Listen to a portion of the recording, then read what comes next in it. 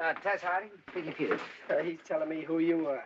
You write for Sammy's paper. I read your column all the time. I don't understand it, but I read it. Uh, is that from the right bottle? The best we have, sir. All right, don't give none of that cockamamie bar stock, you hear? No, no, sir. Well, what can I do for you? You can skip your story of your fight with Braddock. Sure. Uh, the Carnera fight, maybe. No, uh, uh, another scotch, maybe. Good idea. Make mine a double. Me too. Sure.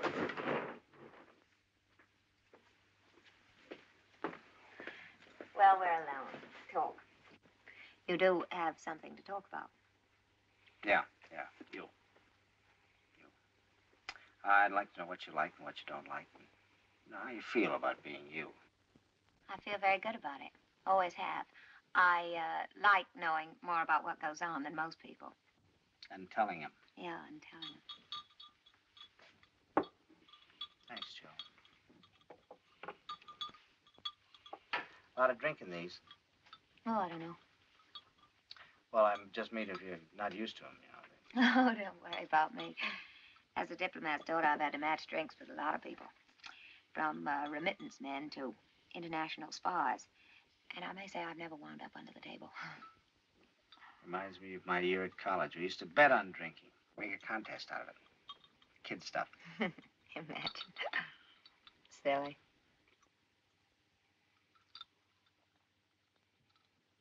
Lots of people make the um, the error of uh, grouping um, Pareto and Spengler together uh, because they both feel that democracy is through, where, whereas actually Spengler is the philosophical basis for fascism. Or, um, no, he's not. Pareto is. While Spengler, well, actually, they both are. Uh, that is, um, at least basically. Well, it's about the same thing. Were you Were you there at the end uh, in Madrid? I mean, Um, after after I came back, I I wrote a, a series of articles which finally blossomed into a regular column, and I've lived happily ever after. did you live happily ever before? How, how do you mean? Well, I want to know the story, you know, behind the story. The girl without a country and how she grew up. She grew up by remote control.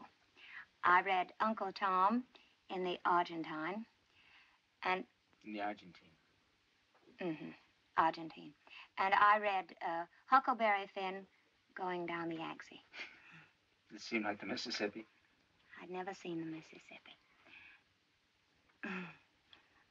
and so then I grew older, and I um, I went to school in Switzerland and in Leipzig and the Sorbonne, and then I became quite busy, and my father decided to come home, so I decided to come home with him. That isn't when he came home. Hmm? That isn't when he came home. I was there the day he came home. It was in the ballpark. That was fun. Yeah. Fun being with the people instead of just telling them. wasn't it? I had a kind of an idea that it had something to do with being with you. With me? Really? Why? Look, Sam, I'm looking. what do you see Right now, right now? Little gal I ran into at the ballpark, named Tessie. I know you by the freckles on your nose. You're the first person that's mentioned those since I was 12. You mind? Mm-mm. Trouble is you can't see 'em most of the time. Maybe bring them out. Look, Tess. I'm looking. Sam. Um, maybe you better take me home. You feel you like some air? Hmm.